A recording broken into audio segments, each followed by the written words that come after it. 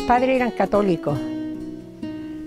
Y, también eh, mi mamá era del Carmen, así que, y mi padre también era del Carmen.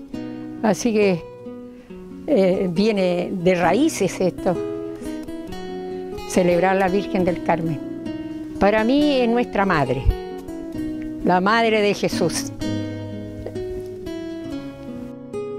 Con mucho respeto digo eso porque, no sé, porque como uno, a mí me criaron e- en esa fe católica, con respeto a Dios y a la Virgen, es un respeto tan grande que eh, eh, y esa fe no se pierde y uno la transmite también a sus hijos. Durante estos cuatro años que este señor alcalde ha hecho este día la celebración bonita, porque eh, se sale, se celebra a través de la comuna. Antes no se hacía, solamente después del 18 de septiembre, el Día de la Patria.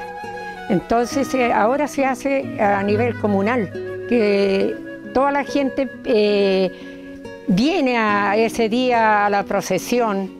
Es muy lindo, aquí se junta mucha gente de muchas localidades, vienen acá a, ver, a demostrarle a la Virgen del Carmen que la quieren, porque es nuestra madre. Si fuera de la procesión que se hace, hay mucha gente que viene a exponer, eh, muchos comerciantes, vienen de todas las localidades y se colocan acá frente a la plaza y siguen por las, por las cuadras, por el calle San Pedro, casi llega hasta el- casi camino al cementerio con negocio.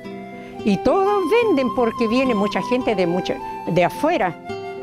Es muy bonito, hay mucho respeto. Yo le pedí mucho a mi madre, a la Santísima Virgen, por la salud de mi madre, porque mi madre murió muy jovencita. Yo la encontré muy joven, 57 años, y, yo era única hija mujer. Yo no quería que ella se fuera. Le pedí mucho, pero yo creo que la Virgen no pudo más ayudarme porque mi madre era un cáncer muy grande que tenía. Pero no por eso no dejé de no tener fe.